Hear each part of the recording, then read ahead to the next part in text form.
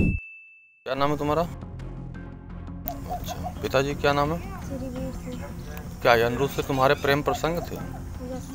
कितने समय से थे? सर हम ग्यारह बजे से आए थे सर। नहीं इसके पहले भी तुम्हारा प्रेम प्रसंग था चार छः महीने पहले से? नहीं सर अभी एक महीने से हुए हैं। अच्छा अच्छा फ़ोन वोन से बातचीत होती थी? यस सर होती थी लेकिन बाइक पकड़ गए फिर हमने फिर दिया उसने। फिर जाए पंद्रह दिन में तीन दो मोबाइल पकड़ गए सर। अच्छा। आज रात में जो वाकया हुआ क्या तुमने इसको फ़ोन से बुलाया था? सर हमारे बाबूजी कल मोबाइल पकड़ लिया हमने नहीं बुलाया है। फिर कैसे आया?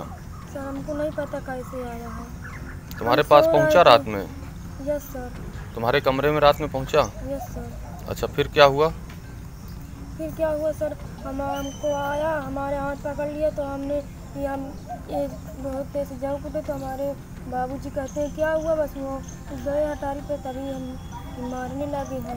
अच्छा तुमने भी मिल के मारा? सर हमने मारा है लेकिन इतना नहीं मारा है। क्या नाम तुम्हारा बेटा? अच्छा पिताजी का नाम है? श्रीवीर सिंह। किस गाँव के निवासी हो? आरापुर के।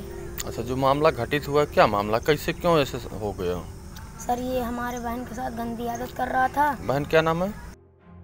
अच्छा कौन गंदी आदत कर रहा था? तो अनिरुद्ध सर अच्छा। तो तभी हमने हमने देख लिया तो उसको मारा सर अच्छा अच्छा।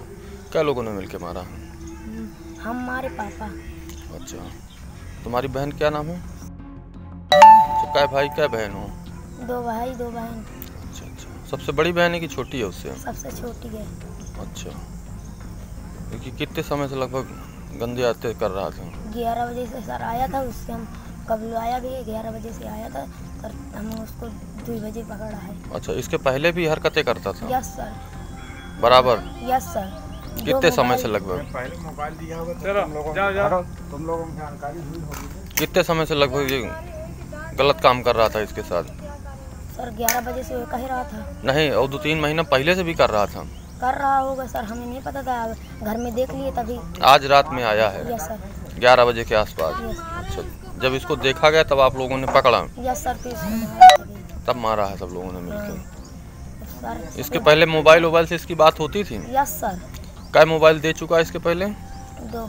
दो मोबाइल दे चुका है। ये आज जो पकड़ा गया तीसरा मोबाइल है दूसरा है। दूसरा है।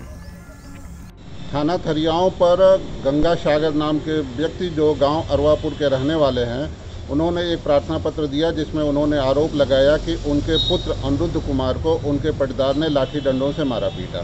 इस संबंध में थाना थरियाओं पर अभियोग पंजीकृत किया गया और घायल व्यक्ति को बेहतर इलाज के लिए सदर अस्पताल फतेहपुर में भर्ती कराया गया।